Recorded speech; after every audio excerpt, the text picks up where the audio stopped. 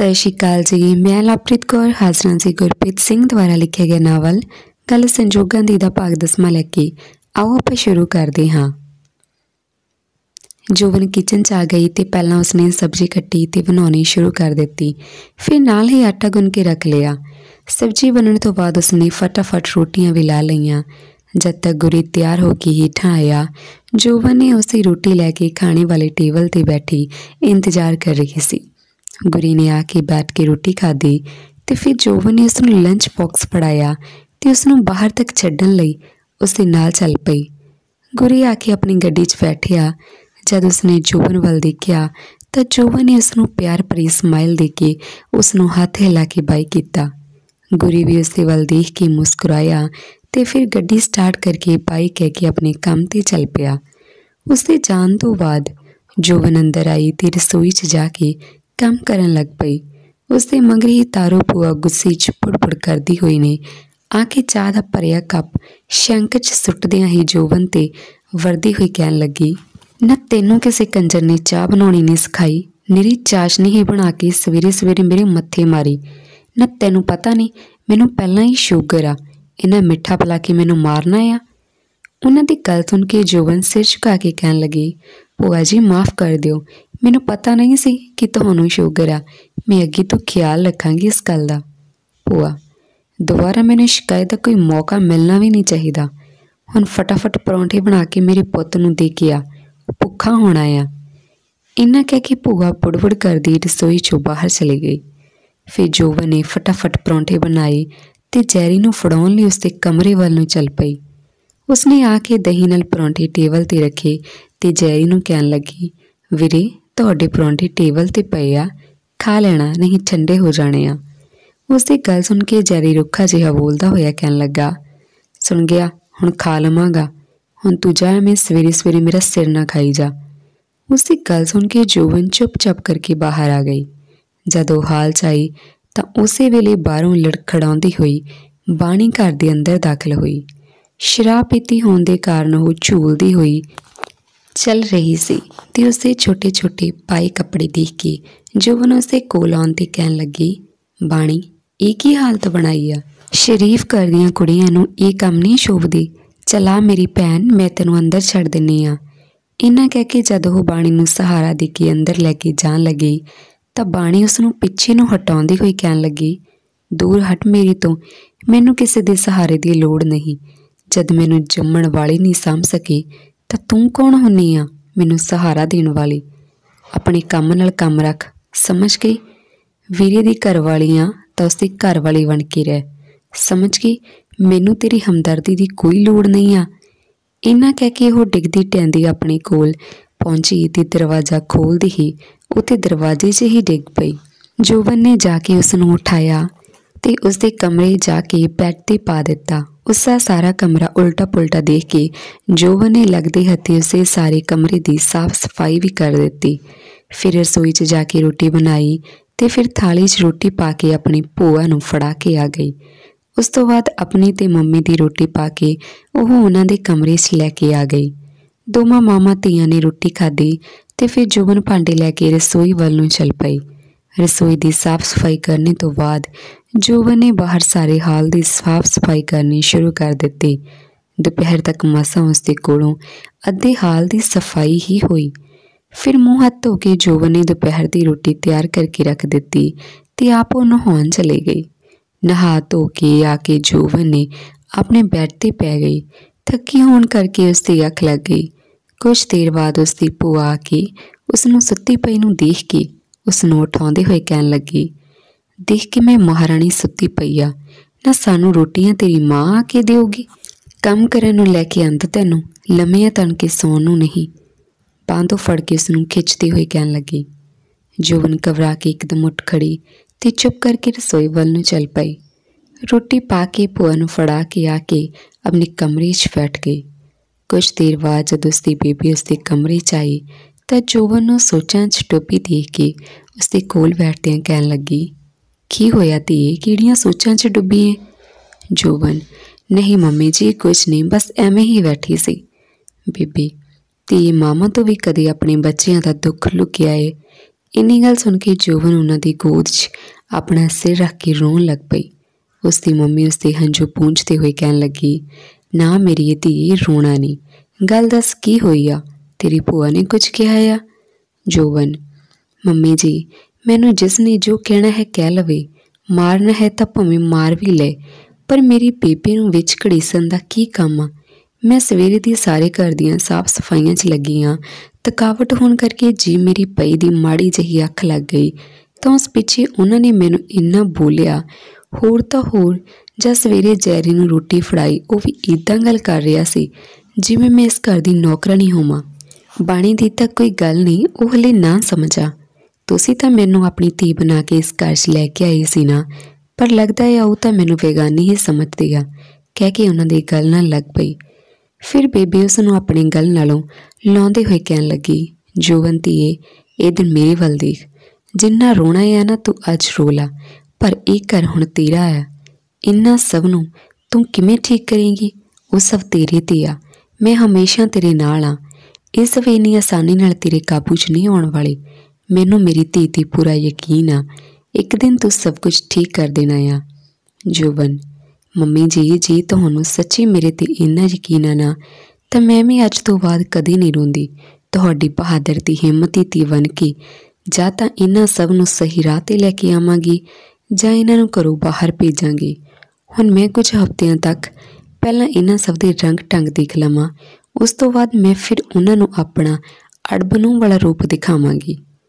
ਇਦਾਂ ਹੀ ਬੈਠੇ ਉਹਨਾਂ ਨੂੰ ਗੱਲਾਂ ਕਰਦਿਆਂ ਨੂੰ ਸ਼ਾਮ ਹੋ ਗਈ।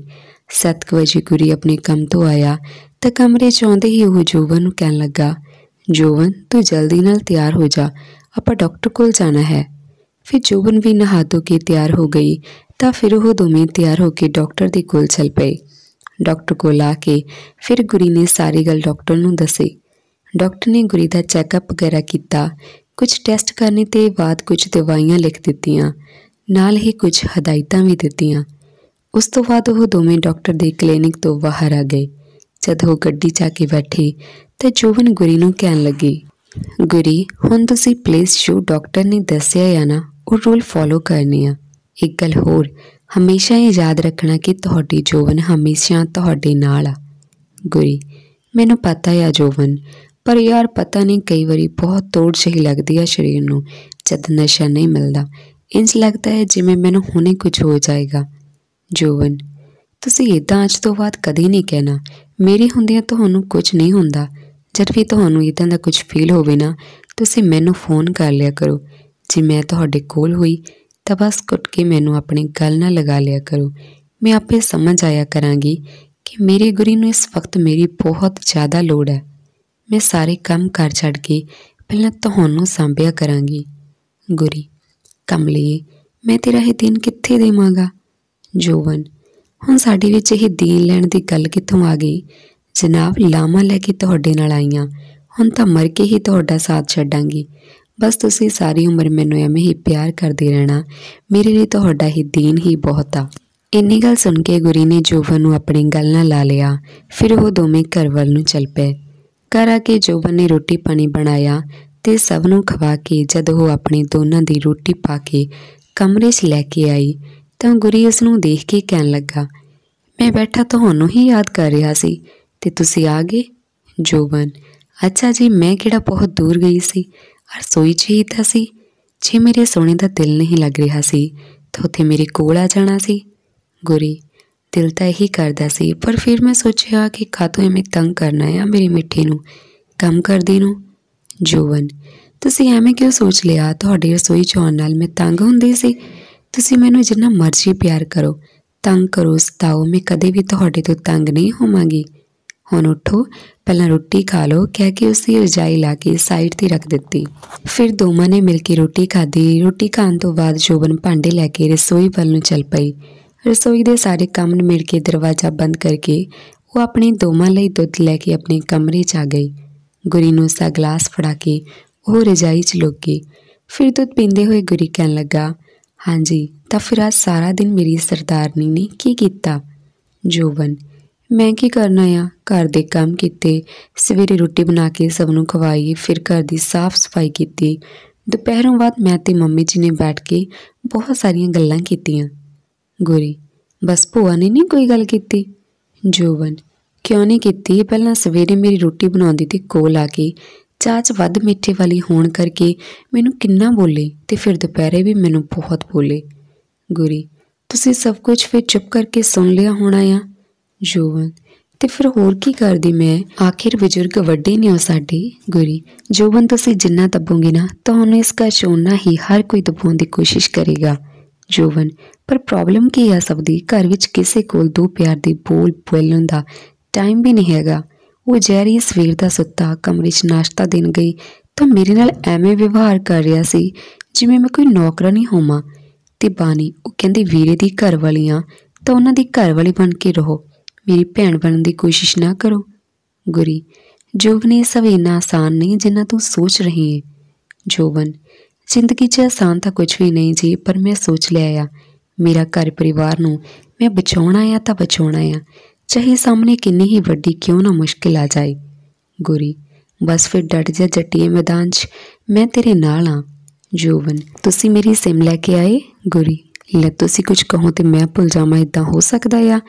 ਹਲੋ ਫੜੋ ਆਪਣੀ ਸਿਮ, ਆਪਣੇ ਪਰਸ ਚੋਂ ਸਿਮ ਕੱਢ ਕੇ ਜੋਵਨ ਨੂੰ ਫੜਾ ਦਿੱਤੀ। ਫਿਰ ਜੋਵਨ ਨੇ ਫਟਾਫਟ ਆਪਣੇ ਫੋਨ 'ਚ ਸਿਮ ਪਾ ਕੇ ਚਾਲੂ ਕੀਤਾ ਤੇ ਆਪਣੇ ਘਰੇ ਫੋਨ ਲਗਾ ਕੇ ਜਾ ਕੇ ਸੋਫੇ ਤੇ ਬੈਠ ਗਈ।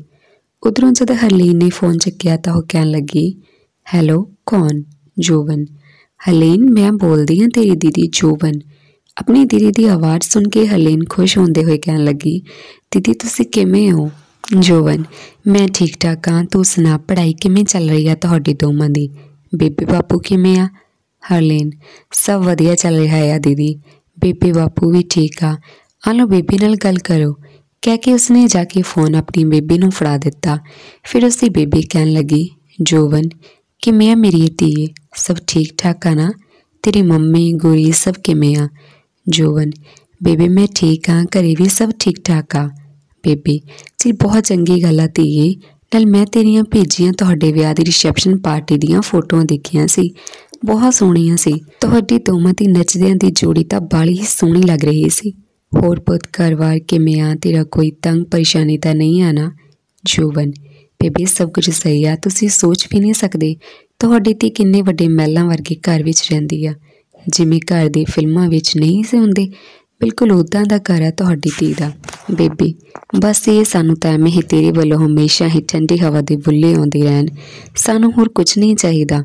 ਜੁਗ ਜੁਗ ਜੀਵੋ ਪੁੱਤ, ਜਵਾਨੀਆਂ ਮਾਣੋ। ਜੋਵਨ, ਬੇਬੀ, ਬਾਪੂ ਕਿੱਥੇ ਆ? ਬੇਬੀ, ਉਹ ਤਾਂ ਪੁੱਤ ਸ਼ਹਿਰ ਨੂੰ ਗਿਆ ਆ ਸੌਦਾ ਪੱਤਾ ਲੈਣ।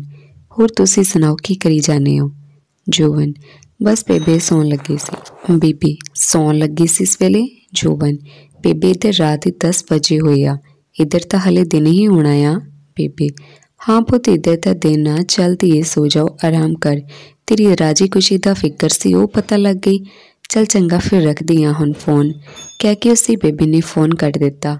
ਫਿਰ ਜੋਵਨ ਆ ਕੇ ਜਾਇਜ਼ 'ਚ ਗਈ। ਗੁਰੀ ਉਸਦੇ ਚਿਹਰੇ ਵੱਲ ਦੇਖਦੇ ਹੋਏ ਕਹਿਣ ਲੱਗਾ ਤੁਹਾਡੇ ਚਿਹਰੇ ਤੇ ਗੱਲ ਕਰਦੇ ਹੋਏ ਵੱਖਰੀ ਹੀ ਖੁਸ਼ੀ ਝਲਕ ਰਹੀ ਸੀ। ਜੋਬਨ ਆਪਣੀ ਬੇਬੀ ਨਾਲ ਗੱਲ ਕਰਕੇ ਭਲਾ ਕਿਸ ਦੀ ਰੂਹ ਨਹੀਂ ਖੁਸ਼ ਹੁੰਦੀ ਹੁੰਦੀ? ਗੋਰੀ ਹਾਂਜੀ ਇਹ ਗੱਲ ਤਾਂ ਹੈ, ਹੁਣ ਤੁਸੀਂ ਦੂਰ ਹੀ ਪਏ ਰਹੋਗੇ। ਮੇਰੇ ਕੋਲ ਨਹੀਂ ਆਉਣਾ? ਜੋਬਨ, ਤੁਸੀਂ ਪਹਿਲਾਂ ਦੱਸੋ ਦਵਾਈ ਖਾਧੀ ਕਿ ਨਹੀਂ? ਗੋਰੀ, ਯਾਰ, ਇਸ ਦਾ ਬਹੁਤ ਅਜੀਬ ਜਿਹਾ ਸਵਾਦ ਆ। ਮੂੰਹ ਦਾ ਸਾਰਾ ਟੇਸਟ ਹੀ ਖਰਾਬ ਕਰ ਦਿੰਦੀ ਆ। ਤੁਸੀਂ ਟੇਸਟ ਤੋਂ ਕੀ ਲੈਣਾ ਆ? ਠੀਕ ਹੋਣਾ ਆ ਜਾਂ ਨਹੀਂ? ਫਿਰ ਦਵਾਈ ਚੱਕ ਕੇ ਉਸਦੇ ਹੱਥ ਤੇ ਰੱਖਦਿਆਂ ਜੋਬਨ ਕਹਿਣ ਲੱਗੀ, ਆ ਲਓ ਫੜੋ, ਦਵਾਈ ਖਾਓ। ਕਿ ਦਵਾਈ ਉਸਦੇ ਹੱਥ ਤੇ ਰੱਖ ਦਿੱਤੀ। ਗੁਰੀ ਨੇ ਫਿਰ ਔਖੇ ਸੌਖੇ ਹੋ ਕੇ ਦਵਾਈ ਖਾ ਹੀ ਲਈ। ਦਵਾਈ ਖਾ ਕੇ ਉਹ ਕਹਿਣ ਲੱਗਾ, ਹਾਂਜੀ, ਹੁਣ ਖੁਸ਼ ਹੋ ਨਾ?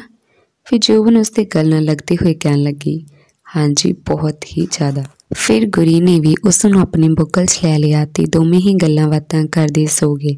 ਜੋਬਨ ਸਵੇਰੇ ਤੜਕੇ ਉੱਠ ਕੇ ਨਹਾ ਧੋ ਕੇ ਉਸਨੇ ਰਸੋਈ ਦਾ ਕੰਮ ਕਰ ਸੰਭ ਲਿਆ। ਗੁਰੂ ਨੇ ਉਸਦੇ ਕੰਮ ਤੇ ਭੇਜ ਕੇ ਉਸਨੇ ਦੁਪਹਿਰ ਤੱਕ ਬਾਕੀ ਸਾਰੇ ਘਰ ਦੀ ਵੀ ਸਫ਼ਾਈ ਕਰ ਦਿੱਤੀ। ਇਦਾਂ ਹੀ ਦਿਨ ਬੀਤਣ ਲੱਗੇ, ਪਰ ਤਾਰੋ ਭੂਆ ਦੀ ਕਿਚ-ਕਿਚ ਕਟਣ ਦੀ ਵਜਾਈ ਦਿਨ ਦਿਨ ਵਧਦੀ ਹੀ ਜਾ ਰਹੀ ਸੀ। ਜੋਵਨ ਕਿੰਨਾ ਵੀ ਚੰਗਾ ਕੰਮ ਕਿਉਂ ਨਾ ਕਰ ਲਵੇ, ਹਰ ਕੰਮ 'ਚ ਨੁਕਸ ਕੱਢਣ ਦੀ ਸ਼ਾਇਦ ਉਹਨਾਂ ਨੂੰ ਮੁਹਾਰਤ ਹਾਸਿਲ ਸੀ। ਆਲਮ ਤਾਂ ਇਹ ਸੀ ਉਸ ਘਰ ਵਿੱਚ ਜੋਵਨ ਨਾਲ ਗੁਰੀ ਤੇ ਉਸਦੀ ਮੰਮੀ ਤੋਂ ਬਿਨਾ ਕੋਈ ਵੀ ਪਿਆਰ, ਸਤਿਕਾਰ ਨਾਲ ਗੱਲ ਤੱਕ ਨਹੀਂ ਕਰਦਾ ਸੀ।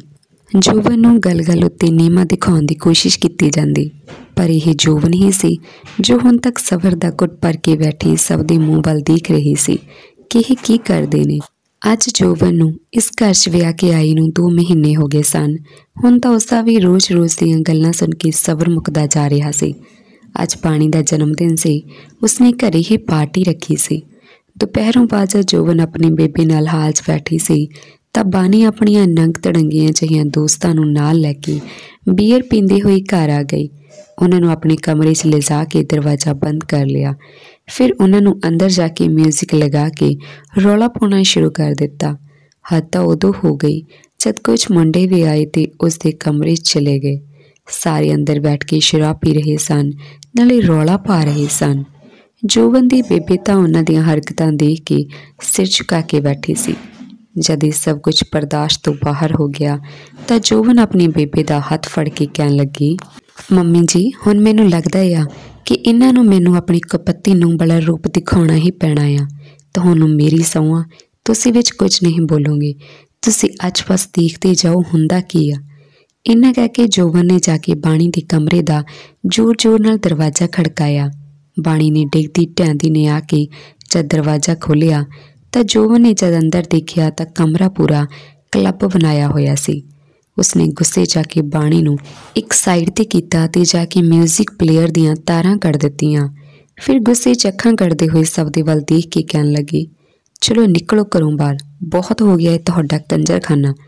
ਉਸਦੀ ਗੱਲ ਸੁਣ ਕੇ ਬਾਣੀ ਗੁੱਸੇ 'ਚ ਜੋਵਨ ਨੂੰ ਇੰਗਲਿਸ਼ 'ਚ ਮੰਦਾ ਚੰਗਾ ਬੋਲਣ ਲੱਗੀ। ਫਿਰ ਜਦ ਜੋਬਨ ਗੁੱਸੇ 'ਚ ਉਸਨੂੰ ਇੰਗਲਿਸ਼ 'ਚ ਜਵਾਬ ਦੇਣ ਲੱਗੀ, ਤਾਂ ਬਾਣੀ ਉਸਦੇ ਮੂੰਹ ਵੱਲ ਤੌਰ ਪੌੜ ਝਾਕਣ ਲੱਗੀ। ਉਹ ਜੋਵਨ ਦਾ ਇਹ ਰੂਪ ਦੇਖ ਕੇ ਘਬਰਾ ਗਈ ਤੇ ਡਰ ਨਾਲ ਕੰਬ ਵੀ ਰਹੀ ਸੀ। ਰੌਲਾ ਪੈਂਦੇ ਦੇਖ ਕੇ ਭੂਆ ਤੇ ਉਸ ਦਾ ਮੁੰਡਾ ਵੀ ਆਪਣੇ ਕਮਰੇ 'ਚੋਂ ਬਾਹਰ ਆ ਗਏ। ਇਸ ਤੋਂ ਪਹਿਲਾਂ ਉਹ ਹੋਰ ਕੁਝ ਕਰਦੀ ਗੱਲ ਵਾਦੀ ਦੇਖ ਕੇ ਬਾਣੀ ਦੇ ਸਾਰੇ ਦੋਸਤ ਚੁੱਪ ਕਰਕੇ ਘਰੋਂ ਬਾਹਰ ਨਿਕਲ ਗਏ। ਆਪਣੀ ਭੂਆ ਨੂੰ ਖੜੀ ਦੇਖ ਕੇ ਬਾਣੀ ਜਾ ਕੇ ਉਸ ਦੀ ਗੱਲ ਨਾਲ ਲੱਗ ਕੇ ਰੋਂਦੀ ਹੋਈ ਨੇ ਸਾਰੀ ਗੱਲ ਦੱਸੀ। ਉਸ ਦੀ ਗੱਲ ਸੁਣ ਕੇ ਭੂਆ ਜੋਵਨ ਨੂੰ ਗੁੱਸੇ 'ਚ ਕਹਿਣ ਲੱਗੀ, ਨੀ ਤੇਰੀ ਇੰਨੀ ਹਿੰਮਤ, ਤੂੰ ਕੱਲ ਦੀ ਆਈ ਹੋਈ ਨੇ ਮੇਰੀ ਧੀ ਨੂੰ ਰਵਾਇਆ। ਮੱਤ ਮਾਰੀ ਗਈ ਸੀ। ਆ ਮਾਂ ਪੁੱਤ ਦੀ, ਜੋ ਹਾਂ ਨੰਗਾਂ ਦੀ ਕੁੜੀ ਨੂੰ ਲਿਆ ਕੇ ਸਾਡੇ ਸਿਰ ਤੇ ਬਿਠਾ ਦਿੱਤਾ ਆ। ਆ ਲੈਣ ਦੇ ਅੱਜ ਗੁਰੀ ਨੂੰ, ਜੇ ਤੇਰੀ ਮਾਰ ਮਾਰ ਕੇ ਖਲ ਨਾ ਉਧੇੜ ਦਿੱਤੀ ਨਾ, ਤਾਂ ਮੇਰਾ ਨਾਮ ਵੀ ਤਾਰੋ ਨਹੀਂ ਕਰਦੀ ਐ ਮੈਂ ਤੈਨੂੰ ਇਥੋਂ ਦਫਾ, ਜੋਬਨ। ਨਾ ਭੂਆ ਜੀ, ਆਪਣੀ ਇਸ ਧੀ ਦਾ ਦਰਦ ਤੁਹਾਨੂੰ ਬੜੀ ਜਲਦੀ ਦੇਖ ਗਿਆ ਤੇ ਮੈਂ ਜਿਹੜੀ 2 ਮਹੀਨੇ ਤੋਂ ਤੁਹਾਡੀਆਂ ਸੂਲਾਂ ਵਰਗੀਆਂ ਗੱਲਾਂ ਸਹਿ ਰਹੀ ਹਾਂ, ਉਸ ਦਾ ਕੁਝ ਨਹੀਂ, ਕਿਉਂ ਮੈਂ ਕਿਸੇ ਦੀ ਧੀ ਨਹੀਂ ਜਾਂ ਮੇਰੇ ਵਿੱਚ ਜਾਨ ਨਹੀਂ? ਮੰਮੀ ਜੀ, ਮੈਨੂੰ ਇਸ ਘਰ ਵਿੱਚ ਆਪਣੀ ਧੀ ਬਣਾ ਕੇ ਲੈ ਕੇ ਆਈ ਸੀ, ਪਰ ਤੁਸੀਂ ਹੀ ਆਪਣੀਆਂ ਗੱਲਾਂ ਕਰਕੇ ਮੈਨੂੰ ਅੱਜ ਨੂੰ ਬਣਨ ਤੇ ਮਜਬੂਰ ਕਰ ਦਿੱਤਾ ਏ। ਹੁਣ ਜਦ ਤੁਸੀਂ ਮੈਨੂੰ ਨੂੰ ਬਣਾ ਹੀ ਦਿੱਤਾ ਏ ਨਾ ਤਾਂ ਫਿਰ ਇਸ ਨੂੰ ਦਾ ਕਪੱਤਾ ਰੂਪ ਹੀ ਦੇਖ ਹੀ ਲਵੋ। ਇਸ ਘਰ ਦੀ ਹੁਣ ਮੈਂ ਮਾਲਕ ਨਾ। ਇਸ ਘਰ ਹੁਣ ਉਹੀ ਹੋਏਗਾ ਜੋ ਮੈਂ ਕਹਾਂਗੀ। ਜਿਸ ਨੇ ਇਸ ਘਰ ਵਿੱਚ ਰਹਿਣਾ ਏ, ਮੇਰੇ ਮੁਤਾਬਿਕ ਚੱਲਣਾ ਪਊ। ਜਿਸ ਨੂੰ ਮਨਜ਼ੂਰ ਨਹੀਂ, ਉਸ ਦੇ ਲਈ ਦਰਵਾਜ਼ਾ ਖੁੱਲਾ ਏ, ਉਹ ਜਾ ਸਕਦਾ ਏ। ਭੂਆ ਨੂੰ ਤਾਂ ਉਸ ਦੀ ਗੱਲ ਸੁਣ ਕੇ ਸਨੇ ਕੱਪੜੇ ਅੱਗ ਲੱਗ ਗਈ ਤੇ ਉਹ ਕਹਿਣ ਲੱਗੀ, ਦੇਖ, ਗੰਦੇ ਖਾਨਦਾਨ ਵਾਲੀ ਦੀ ਕਿੱਦਾਂ ਲੁੱਤਰੋ ਚੱਲਦੀ ਏ। ਨਾ ਜਸਵਿੰਦਰੇ ਤੂੰ ਕੀ ਡੁੰਨਵੱਟਾ ਬਣ ਕੇ ਬੈਠੀ ਏ ਨੀ? ਤੇਰੇ ਹੁੰਦਿਆਂ ਇਹ ਕੱਲ ਦੀ ਆਈ ਸੜੀ ਬੇਇੱਜ਼ਤੀ ਕਰੀ ਜਾ ਰਹੀ ਏ। ਇਸ ਤੇ ਗੁਰੀ ਦੀ ਬੇਬੀ ਕਹਿਣ ਲੱਗੀ, ਸਹੀ ਤਾਂ ਕਹਿ ਰਹੀ ਏ ਉਹ। ਹੁਣ ਇਸ ਘਰ ਦੀ ਤੇ ਸਾਰੀ ਜ਼ਮੀਨ ਜਾਇਦਾਦ ਦੀ ਮਾਲਕ ਨੇ, ਉਹ ਜੋ ਕਹੇਗੀ ਉਹੀ ਇਸ ਘਰ ਵਿੱਚ ਹੋਏਗਾ। ਆਪਣੇ ਮਾਮੇ ਦੀ ਇਹ ਗੱਲ ਸੁਣ ਕੇ ਜੈਰੀ, ਜੋ ਹੁਣ ਤੱਕ ਚੁੱਪ ਖੜਾ ਹੋਇਆ ਸੀ, ਉਹ ਕਹਿਣ ਲੱਗਾ, ਨਾ ਭੂਆ, ਮੈਨੂੰ ਪੈਸੇ ਦੇਣ ਵੇਲੇ ਤੁਹਾਨੂੰ ਸਭ ਨੂੰ ਸੱਪ ਸੁੰਘ ਜਾਂਦਾ ਆ, ਤੇ ਤੁਸੀਂ ਇਸ ਮਹਾਰਾਣੀ ਨੂੰ ਬੈਠੇ ਬਿਠਾਏ ਹੀ ਘਰ ਦੀ ਮਾਲਕਿਨ ਵੀ ਬਣਾ ਦਿੱਤਾ। ਉਸ ਦੀ ਗੱਲ ਸੁਣ ਕੇ ਜੋਵਨ ਕਹਿਣ ਲੱਗੀ, ਗੱਲ ਸੁਣਦੇ ਦਿਓਰਾ, ਨਾ ਬੋਤੀ ਜਿਹੜਾ ਹੋ ਗਿਆ ਆ, ਤੈਨੂੰ ਆਪਣੇ ਤੋਂ ਵੱਡੇ ਨਾਲ ਗੱਲ ਕਰਨ ਦੀ ਕਿਸੇ ਨੇ ਅਕਲ ਨਹੀਂ ਦਿੱਤੀ? ਨਾਲੇ ਤੈਨੂੰ ਪੈਸੇ ਮੰਗਦੇ ਨੂੰ ਪੂਰਾ ਸ਼ਰਮ ਨਹੀਂ ਆਉਂਦੀ? ਜਵਾਨ ਜਹਾਨੇ ਹੱਥ ਪੈਰ ਸਲਾਮਤਾ ਜਾ ਕੇ ਮਿਹਨਤ ਕਰਕੇ ਆਪਣੀ ਰੋਟੀ ਖਾਣਾ। ਹੋਰ ਕਿੰਨਾ ਚਿਰ ਬੇਸ਼ਰਮਾ ਮੰਗੂ ਮੇਰੇ ਘਰ ਵਾਲੇ ਦੇ ਟੁਕੜਿਆਂ ਤੇ ਪਲਦੇ ਰਹੋਗੇ? ਮੈਂ ਰਿਸ਼ਤੇ 'ਚ ਤੇਰੀ ਭਾਬੀ ਲੱਗਦੀ ਆ। ਤੂੰ ਮੈਨੂੰ ਕਦੇ ਭਾਬੀ ਵਾਲੀ ਇੱਜ਼ਤ ਵੀ ਦਿੱਤੀ ਆ? ਨੌਕਰਾਂ ਵਰਗਾ ਪਿਛਲੇ 2 ਮਹੀਨੇ ਤੋਂ ਮੇਰੇ ਵਿਵਹਾਰ ਕਰ ਰਹੇ ਹੋ। ਮੈਂ ਛੋਟਾ ਸਮਝ ਕੇ ਹੁਣ ਤੱਕ ਬਹੁਤ ਲਿਹਾਜ਼ ਕੀਤਾ, ਪਰ ਹੁਣ ਪਾਣੀ ਸਿਰ ਤੋਂ ਲੰਘ ਚੁੱਕਿਆ ਆ। ਜਾਂ ਤਾਂ ਮੈਂ ਤੁਹਾਨੂੰ ਮਾਂ ਪੁੱਤ ਨੂੰ ਸੁਧਾਰ ਕੇ ਰਹਾਂਗੀ, ਜਾਂ ਤੁਹਾਡਾ। ਧੰਨਵਾਦ ਜੀ, ਬਾਕੀ ਕੱਲ ਦੀ ਵੀਡੀਓ 'ਚ ਜਾਰੀ ਰੱਖਾਂਗੇ ਜੀ। ਬਨੇ ਰਹੋ ਚੈਨਲ ਦੇ ਨਾਲ। ਸਤਿ ਸ਼੍ਰੀ ਅਕਾਲ ਜੀ।